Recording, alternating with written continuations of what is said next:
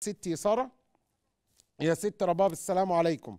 عليكم السلام ورحمة الله وبركاته. جزا الله عنك خيرا يا ربنا يا يرضيك. شيخ والله العظيم أنا عايزة أوصل لحضرتك أديلي أكتر من شهر على راسي اتفضلي يا ست الكل. بص يا شيخ نعم. أنا دلوقتي شكوتي من والدي. نعم. والدي يا شيخ ظلم أمي وظلم إخواتي. معايا أخ معاق عنده 23 سنة وأختي بنت عندها 44 سنة بتغسل كلى. وعندي أختي التانية عاملة عمليتين قلب مفتوح وعايز يطردهم بره البيت. وطلق أمي بعد ما عاش معاها 51 سنة يا شيخ. وأنا السؤال. خايفة خايفة أقف قصاده عشان خاطر ربنا ما يغضبش بس عليا. تقفي قصاده إزاي بس يا رباب بالراحة بس. تقفي قصاده إزاي؟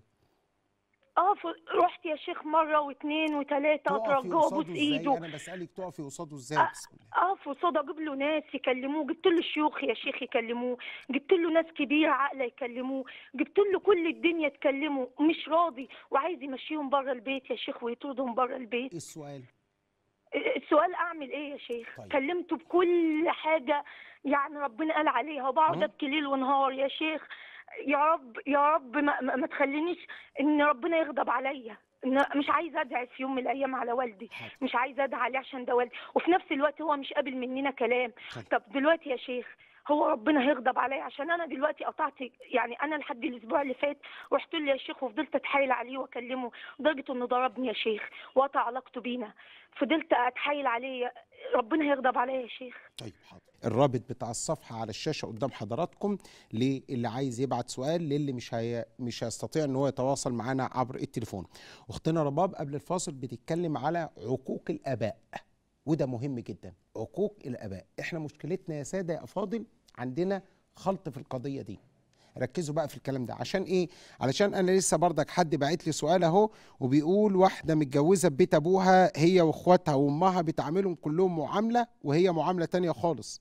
برغم إن هي بره بيها قوي وبتيجي عليها وزوجها وعيالها وبتتعامل مع أزواج إخواتها كويس جدا وبتعمل آه، معاها معاملة وحشة قوي وهي خايفة إن هي تكون بتعقها. بصوا يا سادة يا افاضل الإسلام دين الجمال. دين وازن للإنسان في كل شيء. حتى في العبادة ما حملوش بما لا يطاق. يعني إيه؟ يعني إذا انت أمك يا حبيبي أو أبوك يا نور عيني أو أبوك يا ست رباب هيحملك ما لا تطيقين في حاجة اسمها وصاحبهما في الدنيا معروفا يعني إيه وصاحبهما في الدنيا معروفة؟ يعني بص إيديها ورجليها والله يسامحك انت في حالك وأنا في حالي. هو في حاله وأنا في حالي. خدوا بالكم. مش حرام؟ لا مش حرام.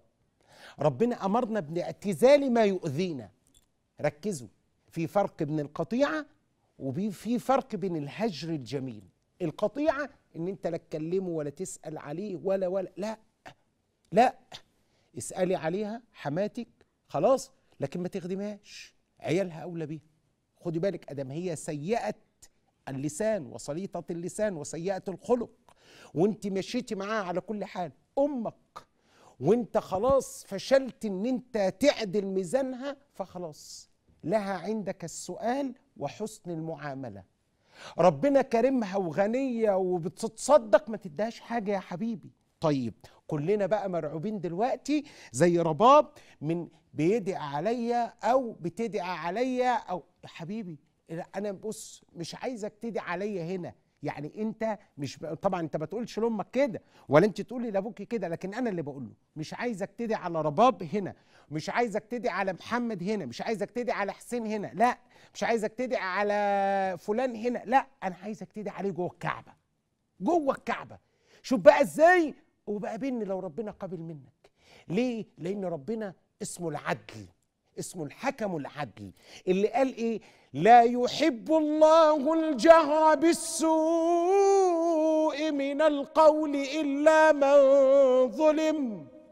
فبالتالي أنت مش مظلوم الدعوة ترد عليك يا حبيبي.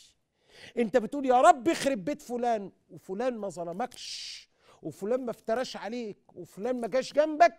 فاللي هيتخرب بيتك انت يا حبيبي خد بالك.